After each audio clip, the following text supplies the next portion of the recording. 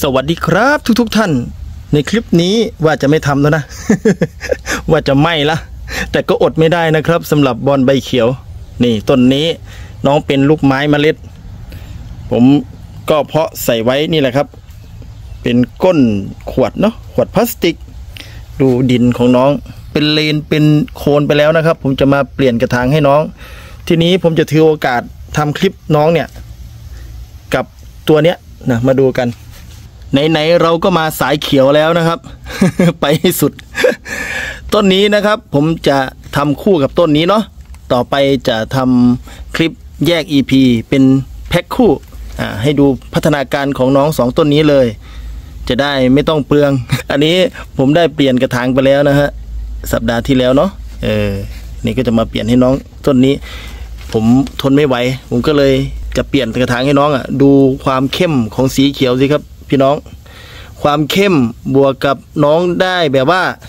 รูปทรงใบอะ ผมชอบรูปทรงใบแบบเนี้ยใบยาวเนาะเหมือนใบโพยังไงก็ไม่รู้นะ เขียวเข้ม จินตนาการออกมา อันนี้จะจะเป็นกัดขาวแน่นอน แต่ถ้าให้เดานะ ถ้าน้องได้เต็มฟอร์มผม ผมขอเดานะ อันนี้จะแซมด้วยสีชมพู จากที่เคยเห็นมานะครับ อันนี้มันเป็นการเดาล้วนๆเนาะเพราะว่าลูกไม้เมล็ด เราไม่เห็นต้นโตเนี่ยก็ไปลุ้นไปพร้อม ๆ กันนะครับ เดี๋ยวผมขออนุญาตเอาน้องไปล้างรากก่อน ผมจะล้างรากให้หมดเลย แล้วก็จะเปลี่ยนเป็นดินใหม่เลยนะครับนี่โอเค ไปล้างรากก่อนนะครับ เรียบร้อยนะครับ สะอาดหมดจด ผมจะไม่ดึงออกหมดนะ ผมก็ให้น้องมีประมาณนี้แหละ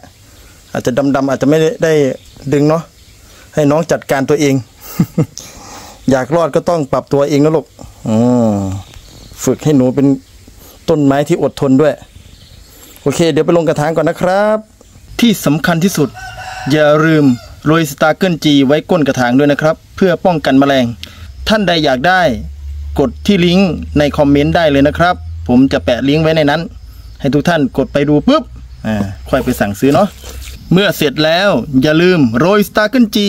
ไว้ตรงรอบรอบโคนข้างบนอีกทีหนึ่งนะครับ เพื่อป้องกันแมลง ย้ำอีกรอบนะครับ ท่านใดต้องการ Starkle G ให้กดที่ลิงก์ในคอมเมนต์นะครับ แล้วก็สั่งซื้อได้เลย ดีนะครับ ช่วยป้องกันแมลงทำให้ลูกๆของเราปลอดภัย โอเคนะครับสำหรับคลิปนี้ก็หมดเวลาเพียงเท่านี้ เดี๋ยวมาลุ้นกันนะครับ ระหว่างต้นเขียวแพ็คคู่ที่ผมจะให้ดูนะ เรามาพิสูจน์กันว่า สิ่งที่ผมคิดไว้มันจะเป็นจริงหรือเปล่านะ เออป่ะโอเค